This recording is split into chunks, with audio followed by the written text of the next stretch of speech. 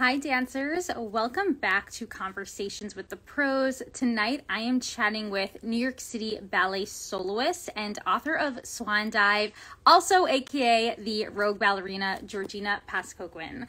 Hi. Hi, how are you, Rachel? Oh, I'm good. Thank you so much for joining me tonight, Georgina. I know all about you because I've been following you for quite some time, but I would love you to give us a great introduction about who you are, where you dance, and a little bit about your journey uh, from pre professional to professional, just so that everyone can catch up who's watching. Sure thing. Um, tall order.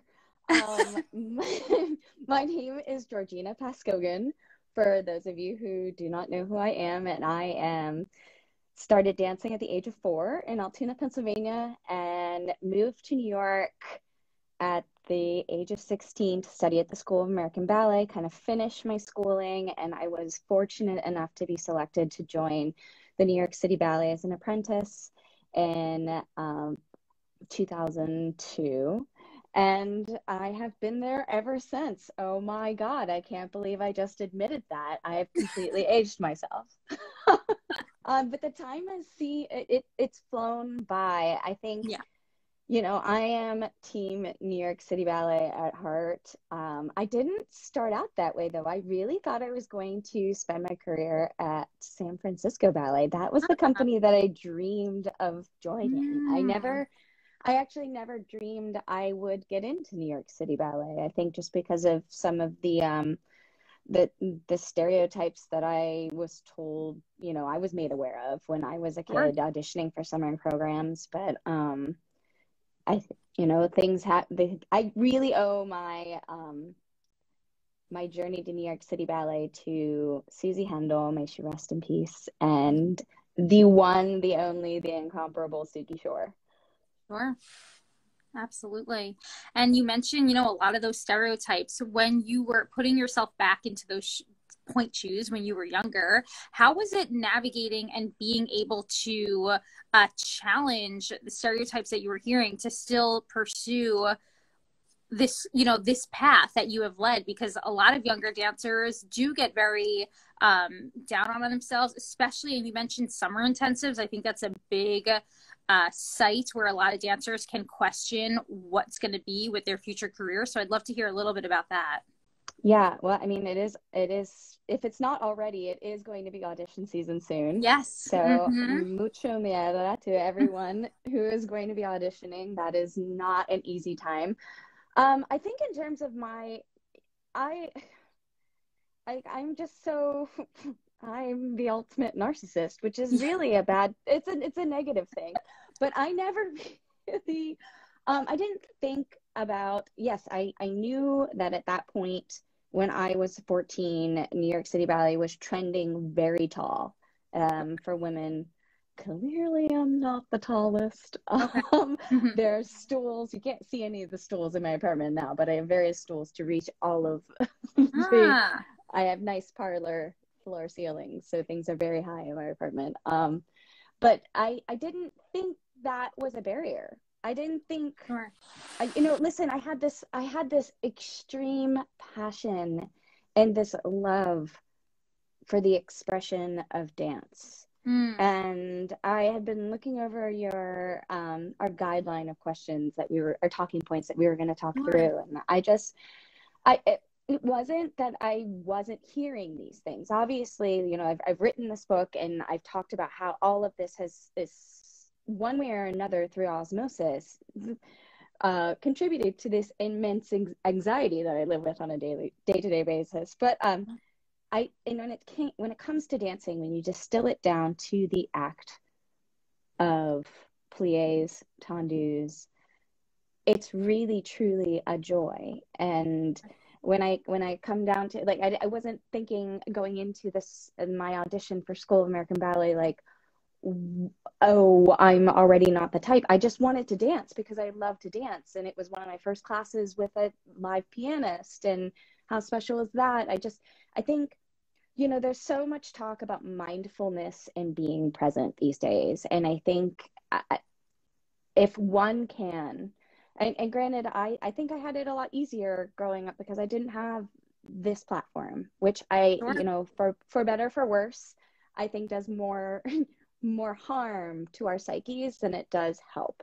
And someday these platforms won't exist in this Mm. in this iteration. I, I am truly thinking that society is going to shift away from this, but but in cases like uh, this conversation, like you and I would have never really had the chance to discuss and to chat, and so I'm really thankful for it. And I'm thankful for you, you know, lifting up my voice on this platform to kind of share some of my ideas that I've been stewing around.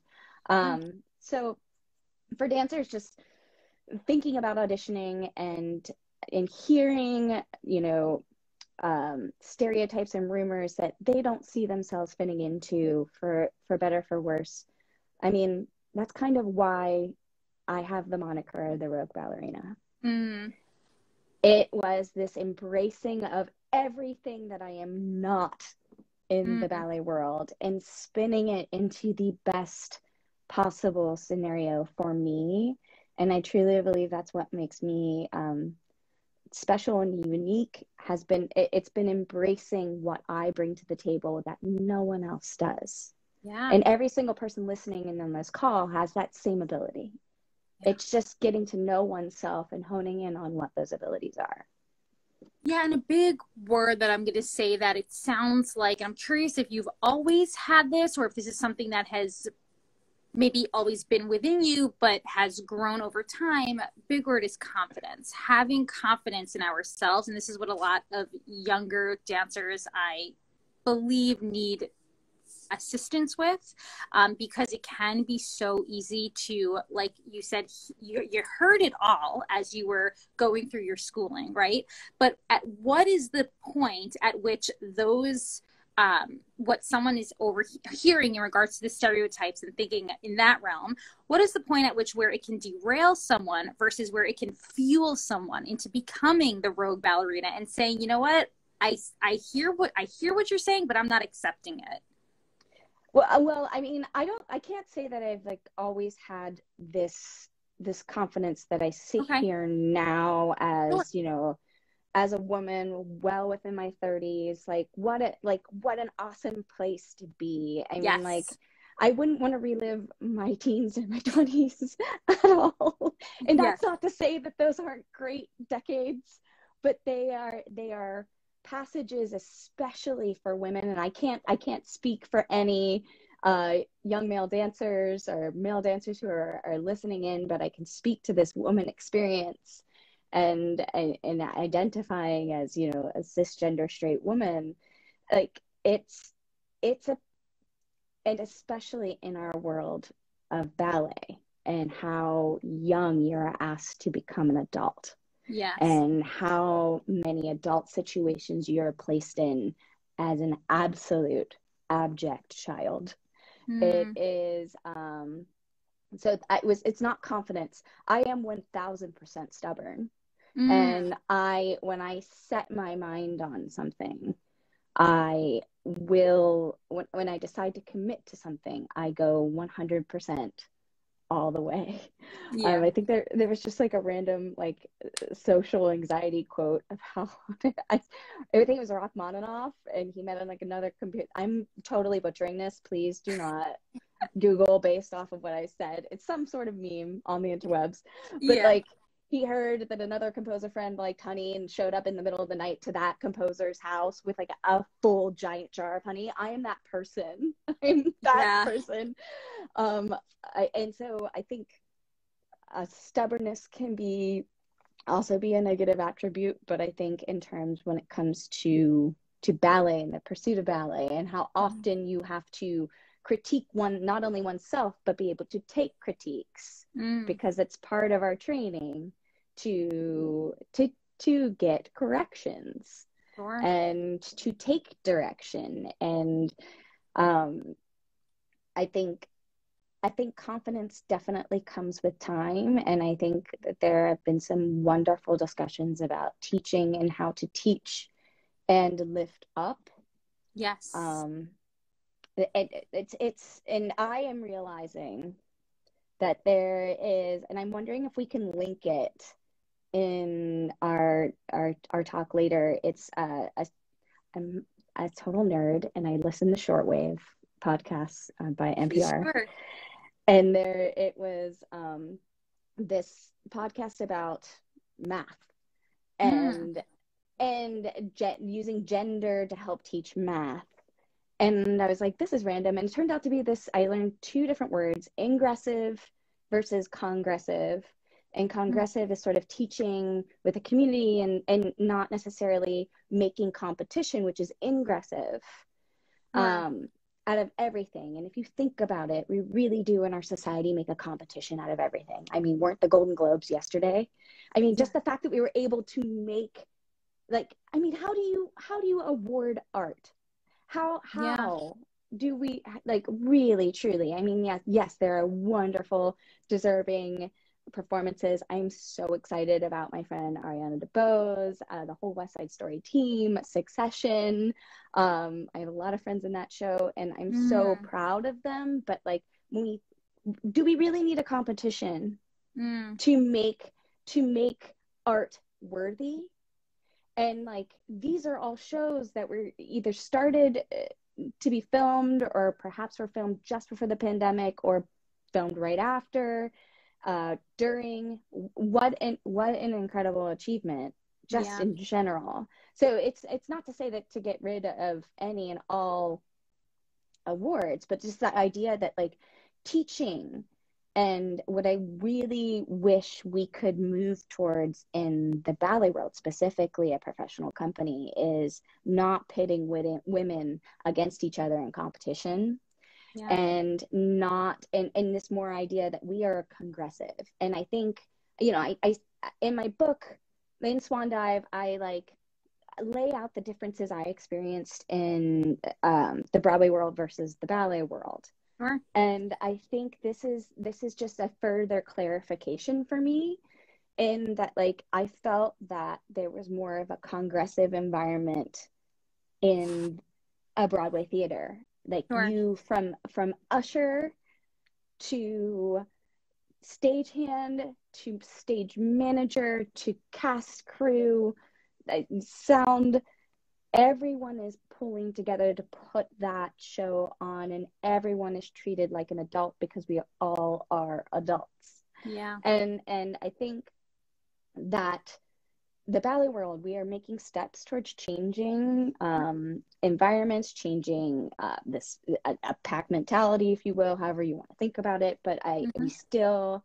have a long way to go. Um, yeah. I, I oh my gosh, so much that I would like to touch on. Um, Sorry, all, I really, I really derailed.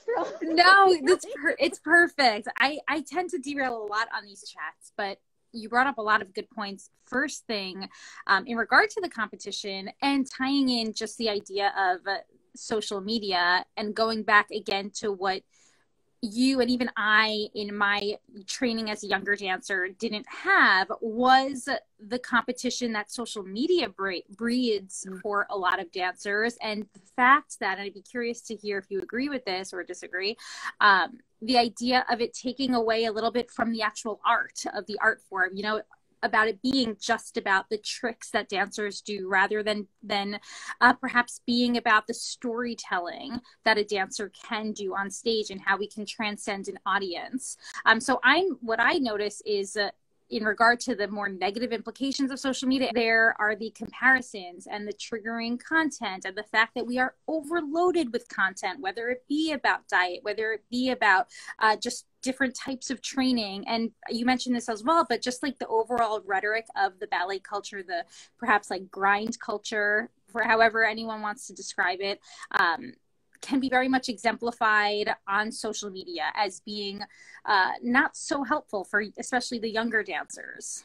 Do I think that social media and it oh the art of it all absolutely I think social yeah. media like it it it dilutes in yeah. the worst way what our process is truly yes. as artists yes. and and and speaking specifically about ballet because to me i i am not i am not like a trickster yes i like to jump and turn but right. i i am not someone that's that's ever played to that i'm also someone that like if there's a ton of competition in the room, I will just walk out.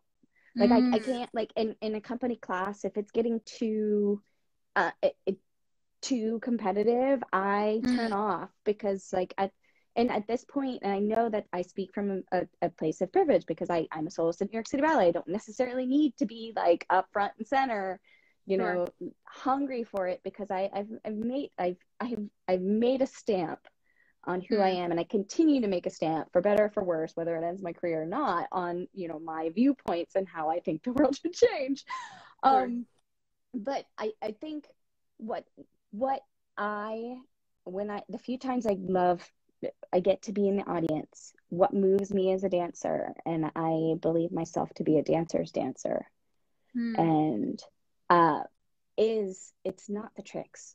I don't remember the tricks. I will. I respect when someone executes 32 fouettes and finishes and finishes cleanly and enjoys it and is able. But you know what makes me cry? What I go home thinking about is the way the women just found a way to make eye contact with her partner. Yeah. The way she takes a hand, the way she the, the the gentleness versus the athleticism, finding ways to make nuance. I don't want to see the same dancer do the same role 18 times the exact same way. That makes my head explode. I don't like I'm we are not machines as people. and yeah. I do not want to see it on stage. I just I just don't that is not it for me and it's mm-hmm. difficult especially when you are a dancer like it, it why I'm, I'm speak for myself like it's difficult for me as a dancer who does not view ev- that every show needs to be the exact same and you can be infused by the happenings of the real world coming in, you have to set it aside a little bit to be able to do our job. Otherwise, most of the time I'd be in tears right. going on stage. But uh, it's you can use that, and that can infuse your performances, and that's what makes people suspend their disbelief and takes them out. That's that's uh, our job. At the end of the day, we are still entertainers. Yeah. And I want I, I want to be able to entertain. I am a storyteller. So whether it's a Balanchine black or white or not, I'm doing this. I'm doing this background work for, for myself because that's how I work best. Yeah. I I like to tell a story. I like to have something going on in my head. It's not just about the eight count, and I know that, that frustrates uh, a, an older generation who just want uh, don't ask questions. Here's the thing. Here are the steps. Here are the counts stay in this frame. I I just am I just not I'm just not that artist. Yeah. And you know, adding experience into the already set structure of ballet, for example, whatever ballet it might be, just adds so much depth. And on that experience, I do want to talk a little bit about balance because a lot of dancers can get very hyper focused in their training, um, especially again, I keep going back to the younger dancers, but I know that's the main audience who's going to be listening to this chat. It can be very mm-hmm. easy for them to hyper focus into what they're doing. And like you said, um, in your standpoint coming from that place of privilege in the sense of being a soloist not necessarily being as hungry to reach that point yet. But how can dancers and i'm curious to hear with your own experience and your training make sure that they're still gaining balance throughout their lives so that they can bring those experiences into the studio and they're not just for example, Rachel the bunhead. I mean, I, I do I want to say this because I know that they're like if you are as intense of a teenager as I was, trying sure. to get a job in dance or trying to um or just uh, uh, loving something so much that you must do it. Uh, that that is that there there is a passion to that and and we and Rachel and I are not saying that you you, sh- you should not give in to that on occasion. But I, I do think that as we continue to learn, especially learn more about the female body and how we develop, it is so important for us to to not overtrain. And I think that it, it's it's hard because there is a certain part of our development as pre-professional artists in which we do have to push we have to push through you have to get tired else you're not going to get stronger you have to mm-hmm. do the mm-hmm. releves you have to have the calves burn but you don't want to tear the calf mm-hmm. and so i have learned that lesson the hard way mm. and i do not and i think that's where i can speak from in in in being listen somewhat of a mentor i you know i i sit here you know one of the the first asian american woman to yeah. ever be promoted out of new york city ballet's corps you don't think that took a lot of extra work a lot of extra drive the cost of that it, it it's there but it's also I, I i think you need that drive Sure. But also what what I always had in my training um, and in this immense curiosity, I, I, I think I'm always going to be a perpetual student, is I loved to cross train with other forms of dance. Like I would go when I, uh, um, we, and testament to Allegheny Ballet Academy, which no longer exists. Um, we had, you know, uh, Spence Ford come in and teach Fosse jazz. Mm-hmm. So I had influences before I even knew, you know, I was obsessed with Celtic um, right. d- dancing. So then I, you know, and then it's fused into tap dancing. And then I took I, summer courses, had West African classes and just learning uh, like those kinds of experience. I help like just branching out in that way. Um, gave me more fuel to come back to the ballet class. Yeah.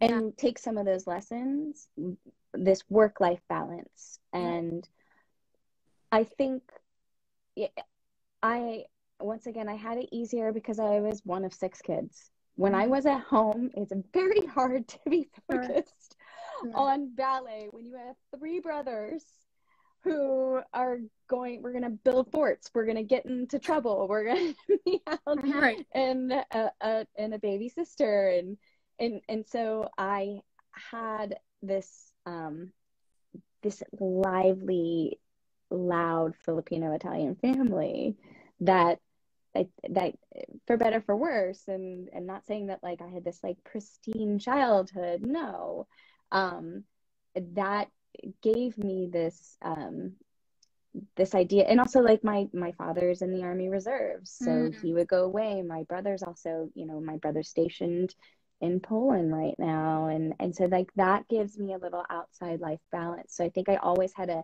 uh, um a perspective yeah. that was like this is just ballet. And and and but in the same vein you know sometimes now where I sit and and knowing and having been through all of of I what I have experienced throughout my career, it's I still find the stage to be a safe space. Mm. And that's not going to be the same for every artist. And, and I, I I know that that's not. I have very close friends who have a completely different experience of stage. That is not their favorite time. Yeah. I love the process of rehearsal, coming back to like how Instagram like doesn't show those processes. Mm-hmm. Um, I love that. I, I, I, love the act of being in process. And I think real art can't be demonstrated in its totality in a 30 second reel. Process of self discovery that mm-hmm. um, it's not about getting from point A to point Z in regard to just this linear one track path. It's a matter of actually experiencing and experiencing not just positive, but actually a lot of negative and a lot of neutral and coming to terms and making space for those experiences and that self discovery to eventually get to a place where you are more confident in with yourself, in your body, with your dancing. And I think one of the major takeaways that I'm getting from this conversation is just allowing for that process, which can be difficult for a lot of dancers who might be, I know for myself, anxious, uh, maybe not so patient, but I just, I love hearing about your process and um, how it has taken a bit of time for you to get to where you are now in regard to how you feel now. But listen, if I had my way, it would have happened so fast, and I would not be, and I would have, I and I would achieve much more than sure, yes. what my career might um that's not making light of the things that i have been able to see. I'm still unlearning and trying to like that's yes. therapy on myself. Yes. Um i was just about to put myself down. Um this i think that we anyone that's on on this on the call wow i really need to come into the age I think just realize that we are going to hear no so much more than we're going to hear yes. Yeah.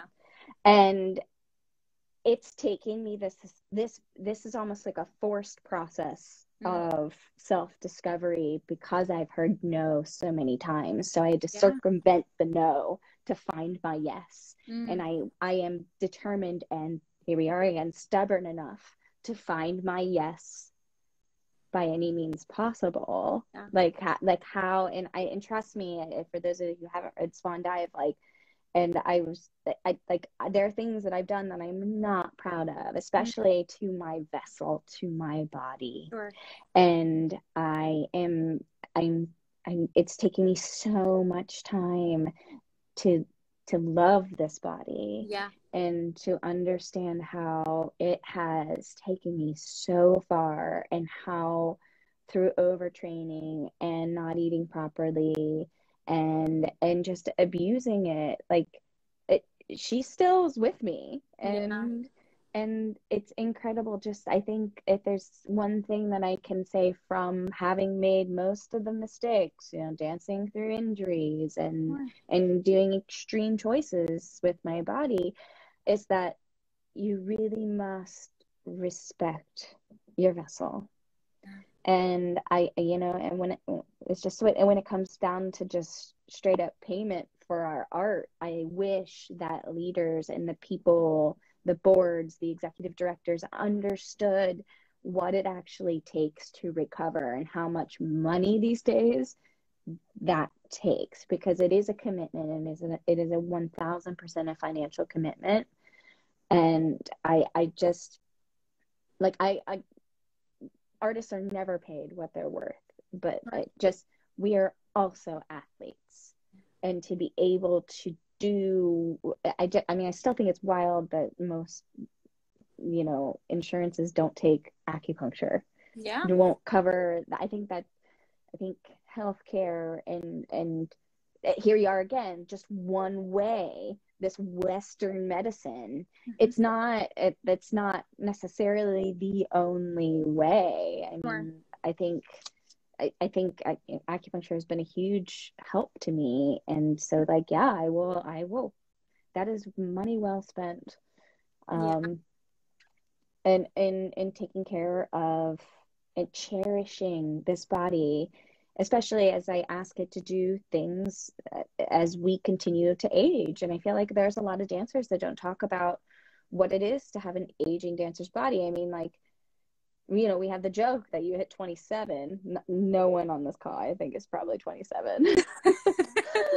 but, and things get harder, but it's like that, the process of taking care of your body needs to happen so much sooner. Yes, absolutely. Uh, just as a quick example, one thing that I'm always educating about is our bone health. And our bone health is becoming set as a framework from the time we are 15 years old through 27 i mean those are our what we call our like peak bone building years just as a very specific example of you know where this work and this proactive approach of caring for our vessel, as you say, which I love, uh, is just so important. And one thing that is also another major takeaway here is just the uh, two ideas of body respect and body appreciation. It's not necessarily about uh, hopefully we can get to a place of body acceptance but if that's not available to someone in this moment then thinking about body respect and just appreciating what we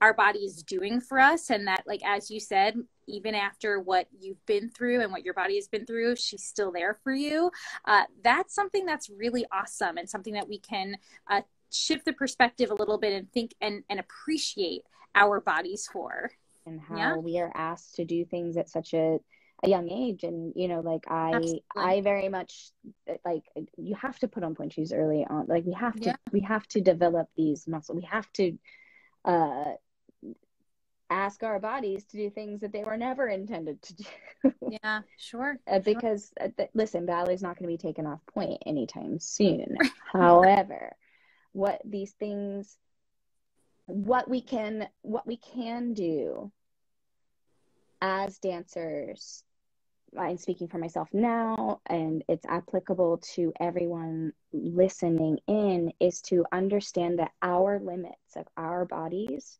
aren't going to match Mm, our friends' limits of our friends' bodies, and like we can awe at what our friends are able to do, but they are awing right back, and it's a reciprocal situation. And I think coming back to this idea, this like ingressive, this competition to we're making competition where competition does not need to be sure. um, that's a place where we can once again flip the script and and find a ways to help support each other through the really hard time that it is to be a pre-professional dancer really wanting to to aim to get into a professional company to ha- to to to get to live the dream and not everyone gets to do that at the end of the day but like i think we all are trying to reach the same goal and this process of training to get there should we shouldn't already be at each other's throats Yeah, absolutely. So please talk to us a little bit about the work that you do at Final Bow for Yellowface, which I know you mentioned to me earlier is transitioning. gold standard arts Yeah, gold standard art. Um, so like Final Bow for Yellowface was it is still very much a pledge, and Mhm. um, it's it just was it's it's an affirmation of anyone who signs it that they love ballet. In order for ballet to survive generations into the future, we have to eliminate outdated and offensive stereotypes on our stages.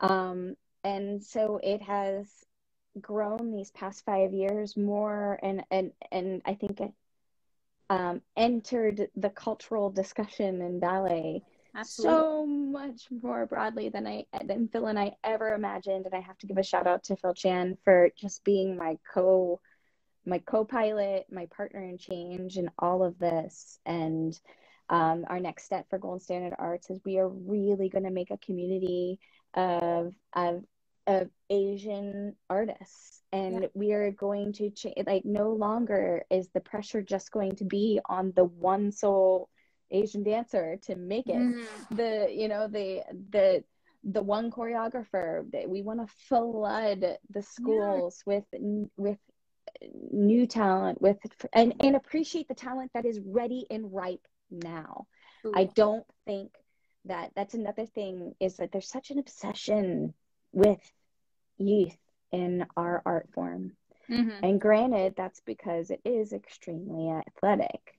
But I think there's also something to really be cherished. And and and I don't think I think it's unwise for um for leaders and for artists themselves to discount discount themselves once they reach a certain age and haven't made it to where they think they're going to make it because you know I it I am still improving as a dancer. yeah. I am still making epiphanies in my artistry and I that's never going to stop. Mhm. There's no there's no mastering of this art form. That I mean, that's just like yeah, there are titles, but that doesn't mean the learning's over. That doesn't mean that the journey stops. It's something that we can continue on and, and the lessons that we learn all, along the way just with the discipline of class and and the determination the the uh, I'm missing the. Just well, the passion. You have to have passion. If you're going to wake up every day and choose to dance for a living, it's Mhm. not. Especially now, where it, everything seems so up in the air. I mean, we didn't. We didn't even have a season a couple days ago. Yeah, and it's just like Absolutely. and i'm just it's it's learning to be flexible in every sense of the word not just ligaments it's Yeah. it's just with um mind and grace and I, I think that these are all lessons that one can take outside of the studio absolutely and experience i mean one thing that i don't want i say this lightly but like older dancers have that younger dancers don't quite have yet is experience and so much of that so much of that journey so much of that self-discovery that you've built over these years. You are able to bring to the stage and bring to the stage just as you mentioned in the very beginning of our chat in different ways right doing the same performance 18 times but having that performance be different 18 times is is incredible. You know what I mean? Like that's where we see the variations in artistry, and that's where we can integrate the technicality of our art or the athleticism of our art, and then the actual artistry of the art. Yeah, I mean, it was. It's always at my viewpoint, especially in doing uh, pas de work. I mean, yeah. you cannot, especially when you're dancing with someone else on stage. It's impossible to recreate like there's always going to be a certain amount of unknown in in that sort of journey and I, I, I just I think I really wish more dancers would be okay with like, okay, so yeah, aim for the triple, aim mm-hmm. for the what, go for it, but know that it is not the end of the world if you mm-hmm. don't hit it or you get out there and you start to feel like you're not you're not necessarily in the pocket choosing choosing a different pathway is always it it's it the time is yours on stage is what yeah. I tell my students. Yeah. And I I know that people might disagree with me, but like you you practice and you rehearse and you listen and you apply in that space, but once you get on stage, that is your time and your time alone. No one else is there with you. Mm-hmm. So it, that's where you find your agency. Mm, yeah, I love that. I love that word, definitely. So, the final question that I have for you, Georgina, one that I ask everyone on here how would you define it's a bit of a loaded question, uh, but how would you define the healthy dancer? Um, is there such a thing as a healthy dancer?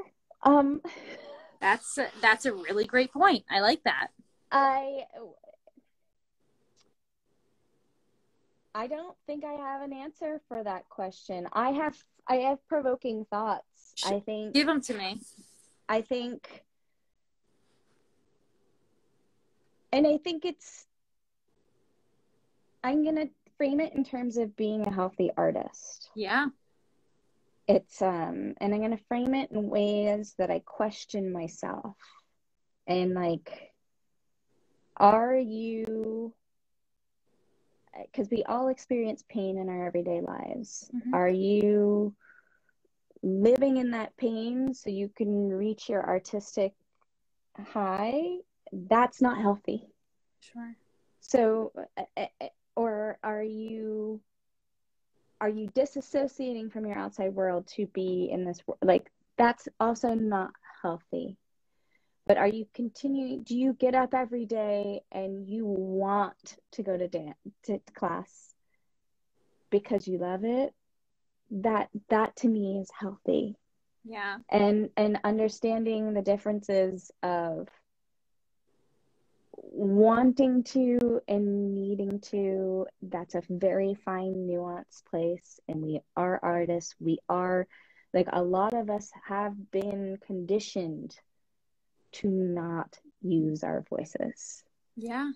And to not speak up when things don't feel right, to not to dance through injuries, to dance through to, to not speak up when situations are make us feel uncomfortable.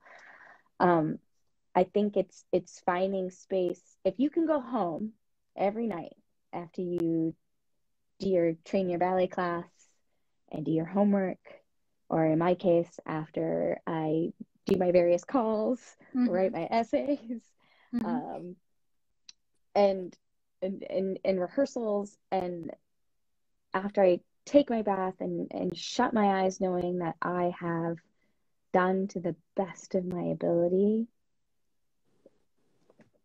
what I've achieved today, I think that's a step towards being a healthy dancer. Yeah, absolutely. And one thing that I do try and work on just in my own community here To The Pointe Nutrition and with the dancers that I do work with is just this redefining and reclaiming of what it actually means that word healthy and how our society that we live in both at large and in the dance industry has unfortunately uh, built this definition around the word healthy uh, in regards to really being two dimensional. It's like if you just fit this quote unquote specific mold, you are seen as being quote unquote healthy. And if you don't fit it, then you're not healthy, which is very much not true and not the case. And it's important for all of us, which is what you're describing, is to utilize that self discovery to redefine what healthy means to ourselves because you can do what society kind of like tells you to do in regards to what it seems to like to be quote unquote healthy and be miserable when you wake up and not want to go into the studio. And just like you said, is it healthy to feel that way, but quote unquote to be doing everything quote unquote right? No, not healthy, right? Everyone's healthy is different. Um, and it's so important for us to utilize self discovery to redefine and reclaim what our personal healthy is, not what we are, like you said, being kind of conditioned to feel. And I think it's okay. It's okay to redirect yeah it, it's it's all right to be like whoa that was the wrong way i've done yes so yes times. Yeah and and it and it's a one step forward one step back one step forward yeah. one step back it's not like like you said and i think it's safe to say that nothing like so little so few or i don't even know the right word so little of this experience, human experience is binary yes absolutely we live in the in between. Yeah. Um, but so often we are conditioned to think that it should be binary. And, and the point is that I feel that you're making and that even I'm making is that it's not. It's that it's make space for being uncomfortable and make space for challenging um, what can be challenged. And uh, like you said, having a voice utilizing that voice if especially if you know if a dancer i always like to mention like as long as a dancer feels safe to do so and who they can approach that is a safe space to do so is super important. One thing, by the way, that actually brings me back to what you said is assessing if the stage feels like a safe place for you. And when it doesn't, what's kind of off kilter in your work life balance? Why does it not feel like that? I know for me personally, I, I, got to a point in my dancing career where it wasn't, it didn't feel that way for me. It didn't feel safe. And that's when I had to take like 500 steps back and decide to become a dietitian. um, and that's how I was able to find a safe space again in the dance world where I felt like I can, you know, contribute and, and be where I wanted to be. And I, I think that's that was a really good marker that you mentioned that dancers can kind of think about is, you know, why doesn't it feel good to you right now? Like what is is what else is going on? Yeah, it's it's usually you know like if we are we are, we are screaming impatience, it, we feel these like I call it the comedian in our heads. There's usually yeah. some other thing that's going on. Yeah. and it's not just wrapped up in this we we aren't we aren't just it's not just one thought. It's not just the dumb pirouette yes know? yes. Absolutely. Georgina thank you so much for joining me tonight. You have given us such valuable insight. It's been a pleasure speaking with you. Well thank you so much for having me